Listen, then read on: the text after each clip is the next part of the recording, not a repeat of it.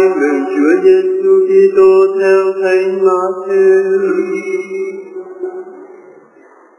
Khi ấy, Chúa Giêsu phán cùng các môn đệ rằng: Các con làm muối đất.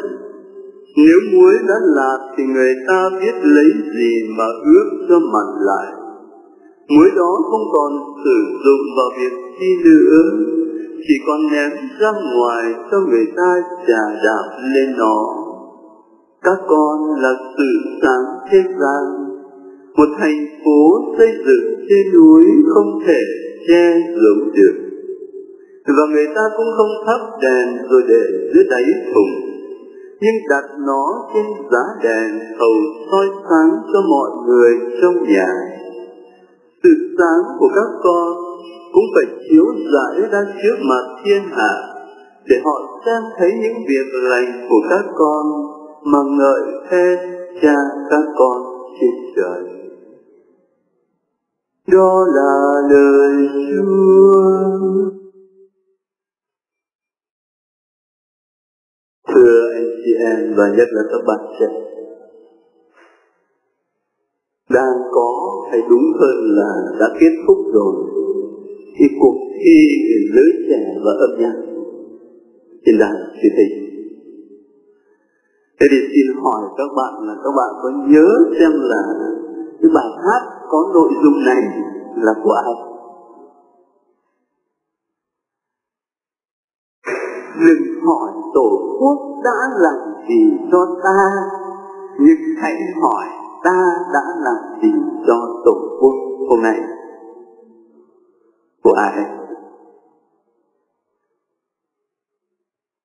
nếu mà tôi nhớ không lầm là của nhạc sĩ vũ hoàng. Nhưng mà cái lời đó thì đúng ra không phải là của vũ hoàng, mà của một nhân vật rất nổi tiếng ở trên thế giới chết lâu rồi. Đó là ông John Kennedy, tổng thống và loại trẻ nhất của nước Mỹ. Cái bài diễn văn của Kennedy trong đó có cái câu đó là từng hỏi, tổ quốc đã làm gì cho ta? Mà phải tự hỏi rằng ta đã làm gì cho đất nước, quê hương mình. Cái bài diễn văn đó ở trong ngành vùng biện người ta xếp vào loại số một đấy. Nó nổi tiếng là bởi vì cái câu nói đó, nó gây được ấn tượng mạnh nơi người nghe nó đảo lộn cái cách nhìn và cách suy nghĩ quen thuộc của mọi người. Từ xưa đến nay mình chỉ nghĩ là xã hội phục vụ mình. Bây giờ nó bắt mình phải đảo ngược lại cái cách suy nghĩ. Thế nếu tôi nói với các bạn rằng ông Kennedy này, ông ấy bắt trước Chúa Giêsu mà, thì chắc là các bạn sẽ bảo tôi là chủ quan, cho dẫu Kennedy là người công giáo thế nhưng ít ra thì cũng có thể nói thế này. Chúa Giêsu đã làm chuyện đó từ trước thì John Kennedy, từ lâu rồi có điều là Chúa không nói bằng cái lối văn hùng biện, mà là bằng một lối văn hình tượng. Thơ mộng hơn và cũng phong phú hơn. Đó là khi Chúa Giêsu nói rằng, anh em là muối cho đời anh em là ánh sáng của trần gian có thể là vì quen quá cho nên chúng mình không cảm nhận cái nội dung hàm chứa ở trong cách nói của Chúa Giêsu. Tôi thử gọi với các bạn một bài suy nghĩ vậy. Muối và ánh sáng. Qua cái hình tượng đó mình có thể khám phá được điều gì? Muối và ánh sáng không bao giờ nó hiện hữu cho chính nó. Nhưng nó có mặt luôn luôn là vì một cái gì khác và cho một ai khác. Vậy các bạn tưởng tượng, Các bạn lấy muối xong mà bỏ vào trong hũ, Đậy nắp thật kín, Xong là đào đất, chôn cái hũ đó ở dưới đất. Có ai làm như vậy May ra thì có ở trong bệnh viện tâm thần. Hay là các bạn tưởng tượng bây giờ có ai mà như Chúa nói, thắp đèn, rồi lấy cái khúc hút vào phí tiền mua dầu. Không ai làm như vậy. Thế cho nên là đã nói đến cuối và ánh sáng là đương nhiên nó có mặt không phải do chính nó, mà luôn luôn cho một cái gì khác ở ngoài nó và cái hiện hữu đó là một hiện hữu mang tính tích cực. Nó bao hàm hai tác động. Một đằng là đẩy lui cái gì xấu và một đằng khác là làm phát triển cái tốt. Muối chẳng hạn chúng mình dùng muối là để giữ gìn thực phẩm cho khỏi bị hư hoại và đồng thời dùng muối để cho thực phẩm nó được tăng thêm hương vị. Những ai mà bị bệnh cao huyết áp mà cứ phải ăn uống toàn lạc không có tí muối nào, tôi nghĩ là khổ. Cho nên là cuối cùng người ta phải chế ra một cái thứ gọi là muối hóa học gì đó. Nó có vị mặn nhưng mà nó không hại. Ánh sáng cũng vậy. Một đằng là xua đi cái tăm tối và một đằng khác là soi tỏ con đường dẫn lối chúng ta đi. Cho nên cái hiện hữu của muối và ánh sáng là một hiện hữu tích cực.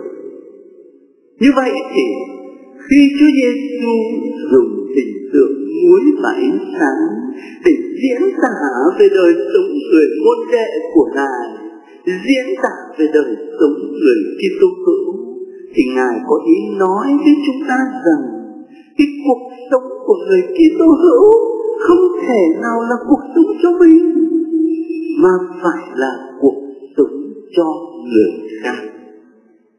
Và đó là một cuộc sống ích lợi một cuộc sống tích cực, chứ không phải là một cuộc sống tiêu cực, làm cho cuộc đời này nó càng tăng tóc hơn, nó xấu xa hơn. Nếu mà các bạn và anh chị em đồng cảm với tôi trong suy nghĩ đó đó thì ta sẽ khám phá ra điều này là cái câu nói rất quen thuộc của Chúa Giêsu nó đảo lộn hoàn toàn cái suy nghĩ của chúng ta. Tôi xin hỏi thật nhé, bởi vì kinh nghiệm bản thân của tôi. Có phải là khi chúng ta tin Chúa đó, thì thường thường ta đặt câu hỏi như thế này tôi tin chúa thì tôi được cái gì? Có đúng không thánh sơ đô ngày xưa và các tông đồ ngày xưa cũng hỏi như vậy đấy. Thưa thầy, chúng con bỏ hết, bỏ cha mẹ, bỏ vợ con, bỏ ruộng vườn để mà đi theo thầy thì chúng con được hay gì? Cái tâm lý tự nhiên của chúng mình là hỏi như vậy nhưng mà khi Chúa Giêsu nói mình là muối và là ánh sáng, là một cái hiện hữu cho đi và cho đi một cái tích cực đó, thì cái câu hỏi của chúng ta không còn phải là tôi theo Chúa thì tôi được cái gì, mà phải hỏi là tôi theo Chúa thì tôi phải làm gì? Phải làm gì cho nước trời? Phải làm gì cho giáo hội? Phải làm gì cho con người. Cái cách suy nghĩ nó bị đảo lộn 180 độ. Ta thử lấy một ví dụ. Người ta kể có một anh thanh niên, anh tốt lành, đạo đức lắm. Đi lễ thường xuyên. Một ngày kia anh đang đi trên đường thì gặp một em nhỏ, nó nghèo nó phải đi nhặt rác ở cái đống rác lớn của thành phố. Nhặt bao ni lông, đem đi bán kiếm sống. Anh cảm thấy cảm thấy trong lòng bức xúc quá. Cho nên ngửa mặt lên trời, than thở với chúa rằng, lạy chúa chúa được gọi là đấng nhân lành mà sao con thấy chúa ác vậy? Thằng bé này nó tội tình gì đâu mà chúa bắt nó phải đi nhặt rác từ sáng tối để mà kiếm sống qua này sao Chúa ác vậy? Anh ta vừa than thở như vậy xong thì nghe có một tiếng vọng trả lời. chính vì thằng bé nó khổ như vậy, cho nên ta rước lên nhà ngươi đấy chính vì thằng bé nó khổ thế nên ta rước lên nhà ngươi cái câu trả lời nó đảo ngược hoàn toàn cái cách suy nghĩ của chúng ta từ trước đến nay khi mà đối diện với những cái xấu ở trong đời thì thường đó là mình lên án hoặc là mình tham tiền, tham tiền con người tham tiền xã hội tham tiền chính chúa. Nhưng mà bây giờ cái câu trả lời câu trả lời của trời cao đấy nó làm đảo lộn hoàn toàn suy nghĩ của chúng ta. Thế đối với các bạn tôi thử gợi ra một vài trường hợp thôi ngày hôm nay ở trong thành phố Sài Gòn này, một tệ nạn mà chính nhà nước báo động dữ lắm. Bằng chứng là trong dịp Giáng sinh, đại diện chính quyền đến thăm chúng tôi, rồi mới đây mời chúng tôi đi họp.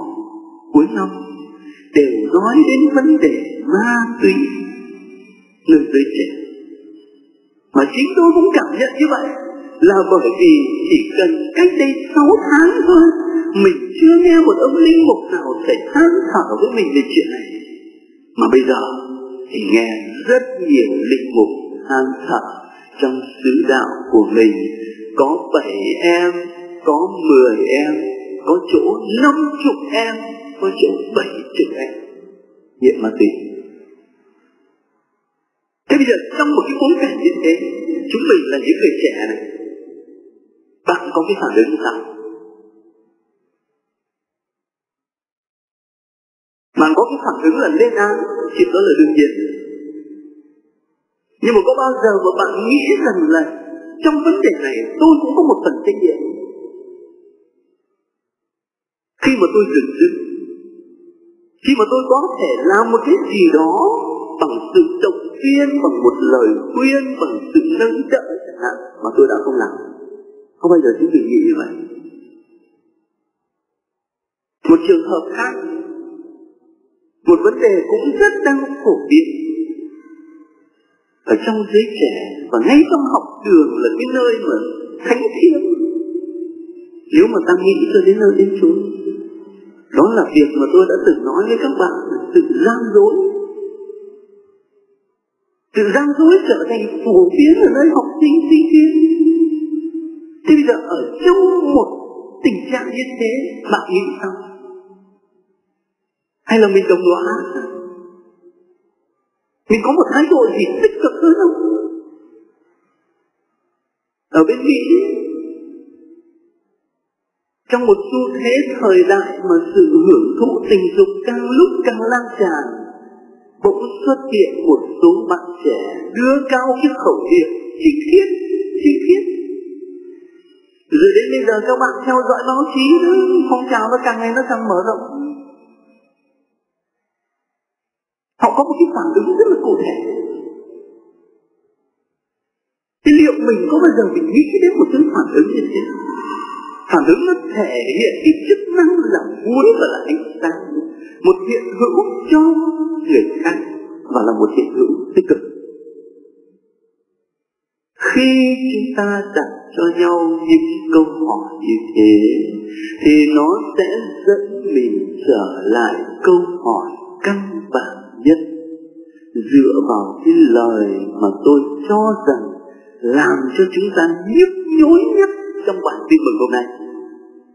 Đó là cái câu Chúa Giêsu nói, nếu muối đã lạc thì người ta biết lấy gì mà ướp cho mặt lại chỉ còn quăng nó ra ngoài trong người ta chà đạp lên nếu muối đã làm cái câu hỏi căn bản đó là mỗi người, chúng ta phải xem lại mình còn cái vị mặn của muối và còn chút le lói nào ánh sáng của cuộc đời các anh chị em và các bạn còn nhớ cái câu chuyện của nhà Phật? Câu chuyện nổi tiếng lắm. Có một anh mù đấy. bây giờ chúng ta gọi bằng những từ ngữ nghe nó văn minh hơn là người khiếm thị. Thế thì anh ấy đi thăm một người bạn.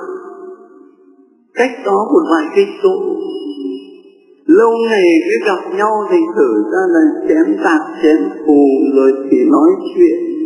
Luyên thiên, mãi đến gần nửa đêm mới hết. Thế thì trước khi anh ấy ra về thì người bạn mới bảo rằng ôi để tôi thắp cho anh một cái đèn. Anh cầm và đi đường cho nó rõ.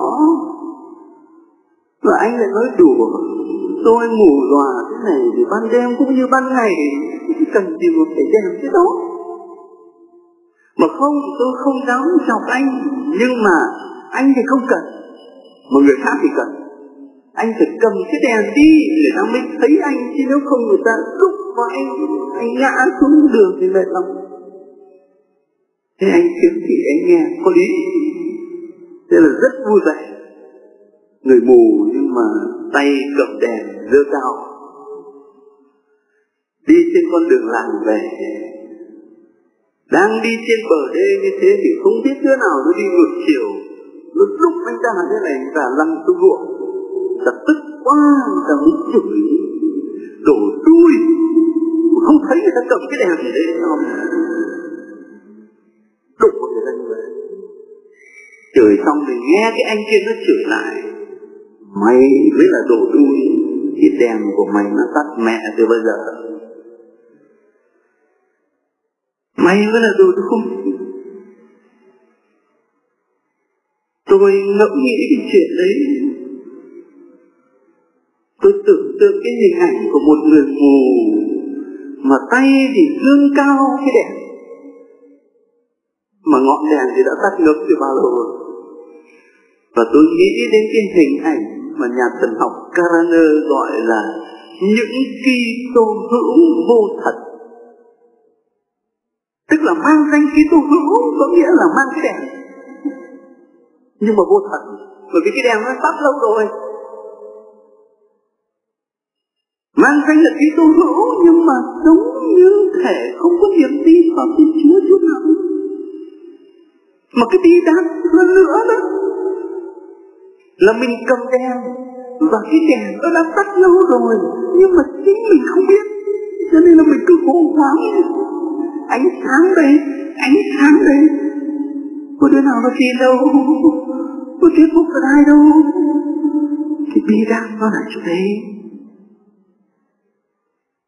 chính vì vậy mà phải hỏi lại cái câu hỏi căn bản, xem là vị mặn của muối và ánh sáng của cô âm có còn ở trong lòng và trong cuộc đời chúng ta không? Cái hình ảnh của một ngọn đèn trước gió mà ngày công nhân Diana qua đời người ta hát Candle in the wind. Cái hình ảnh đó nó giúp cho mình thấy đức tin của mình nó mong manh lắm. Rõ báo trong cuộc đời, nó sẽ làm cho cái đức tin đó bị nhạt nhòa, bị mờ tắt. Chuyện đó không khó hiểu.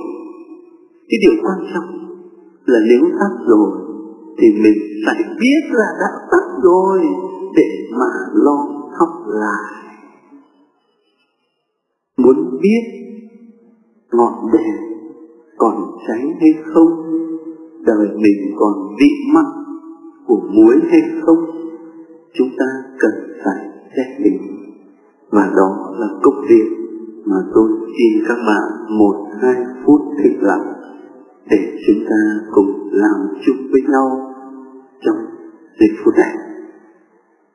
Xin anh chị em và các bạn đừng lấy làm la khi mà đèn trong nhà thờ bỗng tắt đi. Bởi vì trong cái tâm tối, chúng ta dễ tập trung hơn để cùng nhìn lại đời sống của mình. Tôi sẽ giúp anh chị em. Ngay bây giờ, chúng ta cùng xác định.